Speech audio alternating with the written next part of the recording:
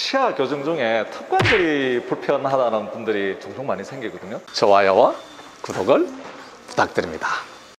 교정 중에 또는 교정 마치고 나서 턱관절이 안 좋아졌다. 예, 턱관절에 탈이 났다고 그렇게 말씀하시는 분들이 많은데 치아 교정은 교합, 네, 교합의 변화가 필연적으로 따를 수밖에 없거든요. 치아가 어찌됐든 이렇게 씹히는 부분들이 이동을 하게 되면서 불가피하게 많이 닿이는 치아도 나타나기도 하고 닿이지 않는 치아도 나타나기도 하고 이 교합에 변화가 있을 수밖에 없거든요. 오늘 우리 환자분 직접 한번 보면서 아 교정 치료가 이런 부분들이 있기 때문에 턱관절이 생길 수도 있고 아니면 턱관절 문제가 있을 수 있겠다 하는 생각들이 여러분들이 들 겁니다. 한번 같이 한번 보겠습니다. 지금 우리 환자분 인비슬라인 교정하고 있고요. 특이하게 지금 거꾸로 물리시는 분입니다. 이렇게 반대 교합이고요. 인비슬라인 교정한 지 10주 차가 이제 접어듭니다. 그래서 치료 목표는 여기 이제 턱이 큰 거를 교정을 하고 수술은 하지 않고 이렇게 거꾸로 물린 거를 바로 하는 네, 반대 교합을 개선하기 위한 치아 교정을 진행 중입니다. 지금 앞니끼리만 부딪히고 있고 원래 모습대로 한번 가볼게요. 원래는 조금 더 이렇게 거꾸로 물려 있었습니다.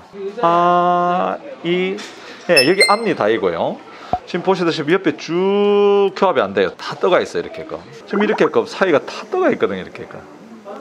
처음에 이렇게 검자 주걱턱이었기 때문에 이 상태에서는 오히려 위엔니 아랫니가 잘 이렇게 씹어 먹던 것이 교정 치료를 하면서 이제는 치아가 하나씩 하나씩 하나씩 뒤로 움직이다 보니까 이 사이가 뜰 수밖에 없거든요 필연적으로 여기가 임플란트예요 임플란트 좀 치료가 좀 쉽지 않은 케이스인데 임플란트도 있고 해서 다이는 치아는 보시면은 살짝 여도 잘 닿이지 않거든요 아 당연히 이, 이 담로스의 이 여기는 거의 닿이지 않고 보시면 교합이 다 떠 있습니다 그래서 지금 교정 중에는 이런 교합이 되었다가 식사할 때 교합은 턱을 이렇게 내밀고 본인이 교합이 쉽게 말해서 지금 거꾸로 되어 있는 게 넘어가려는 이 찰나거든요. 넘어가려고 하니까 이 넘어가려는 동안에는 어금니가 교합이 뜰 수밖에 없어요. 어금니 교합이 뜨고 이 요 상황에 교합 접촉이 앞니끼리 접촉이 일어나는 상황인데 얘가 지금 밥을 먹기 위해서 어쩝니까? 턱을 다시 앞으로 내밀어야 되는 거예요. 밥을 먹기 위해서.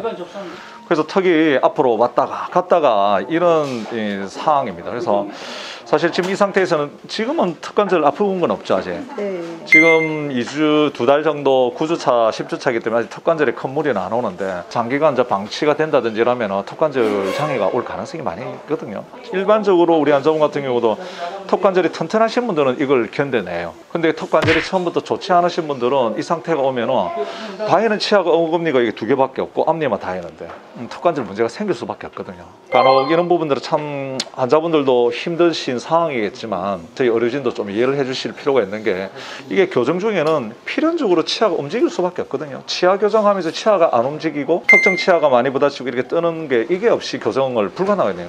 이게 뭐 진짜 수술 아닌다면 붕 이렇게 만들 수는 없지 않습니까? 지금 주의사항은 어떻게 이제 턱관절 가능성이 많이 높기 때문에 첫 번째 우리 환자분은 절대 따뜻한 거 드시면 안 되겠죠 이 상황에서는 그리고 제가 많이 추천하는 거는 이 물리치료 같은 걸 좀 해야 돼요 평상시에는 뭐 물리치료를 할 수는 없기 때문에 집에서라도 이게 핫팩 같은 거 조금 이렇게 많이 하시고 아니면은 이 손바닥으로라도 이 관절 부위를 마사지를 좀 많이 해주셔야 돼요 예, 그렇게 하고 우리 환자분도 치료를 아주 열심히 해갖고 지금 고무줄을 쓰고 있거든요. 빨리 이렇게 절단교합 상태, 반대교합에서 지금 절단교합, 절단교합 상태를 빨리 벗어나야 돼요. 빨리 이게 바로 돼야 되고. 예. 그리고 뭐 저희 치과에는 다행히 물리치료하는 기계들이 있으니까 어, 치과에 오실 때마다 좀 물리치료 좀 받으세요. 네. 예, 받으셔서 여기 턱 관절에 있는 스트레스를 많이 없애주셔야 될 것 같아요. 인비사라인 클린책인데 지금 반대로 돼 있잖아요. 이렇게 이걸 이제 개선하기 위해서 보시면은 치아를 우리가 어떤 방법으로 개선을 하냐면은 이걸 검니를 뒤로 하나씩 하나씩 하나씩 이렇게 할 수밖에 없어요. 이걸 뒤로 하는 동안에 불가피하게 이 부위는 잘 씹히지 않거든요. 이 부위의 교합이라든지 이런 부분들이 좋을 수가 없어요. 그래서 이 중간 과정 중에 우리 환자분들이 많이 힘드시지만 조금 잘 견디셔야 될 것 같고 네, 조금 어려움이 그렇게 예상이 되는 케이스입니다.